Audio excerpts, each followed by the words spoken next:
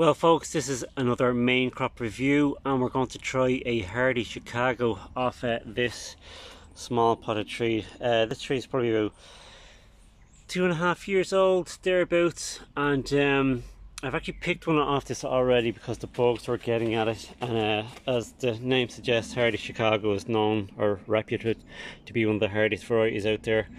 So I'm going to try and cut this with my knife, one-handed, and let's have a look at that. It's looking good.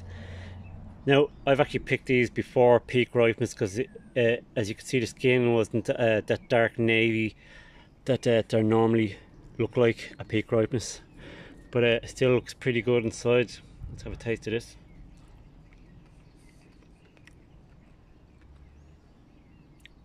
Yeah. That's really good.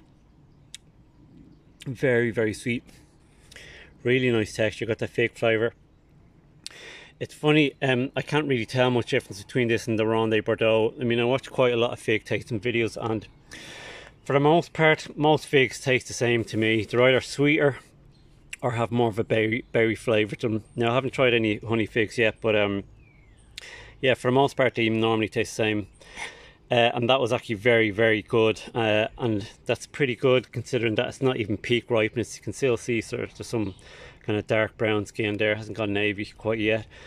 But uh, yeah that's a keeper. Uh, I'm going to put that one in the ground and see how she does. Um, by the way it's 40 degrees inside the polytunnel at the moment which is shocking. And uh, inside this composter you're looking at 50 degrees. Crazy. Anyway enjoy